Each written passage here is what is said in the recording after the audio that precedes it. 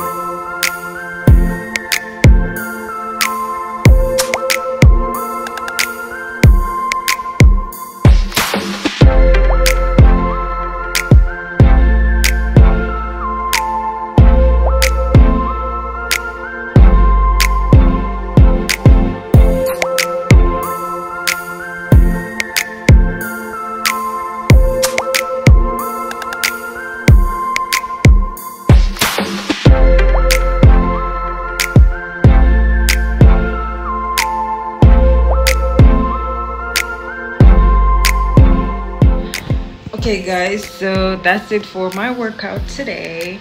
Uh, it was very good. I actually went there at 6 a.m and i left there about 7:42. so it was a good workout. I started on the treadmill as you would have seen and i did some other workouts. So it was good. I was actually worried about going and seeing a lot of people but when i went there it was just me and then because i was on treadmill for about 30 minutes well not exactly 30 minutes for a while because the treadmill i took a while to figure it out because it's in chinese and they use an app so i had to scan it for it to start. Child. Anyways so it was good. It wasn't a lot of people so i will definitely go at this time at that time instead of in the evening so it was good um yeah it was great. I loved it. Got some sweat in. I had my plastic on my belly so it was yeah i had the i wrapped my belly and everything so i got to sweat and everything. I did my exercises. So it was actually good. I felt i was so scared to go because you know they're very weird towards foreigners especially now with the virus but that's a different story but anyways i had a good workout look at time. It's eight o'clock. I'm now going to make my breakfast. And i'm gonna try and start eating healthier since i'm not working out and you know all that all that. Yeah. Anyways remember to like share comment and subscribe. Bye. See you in the next one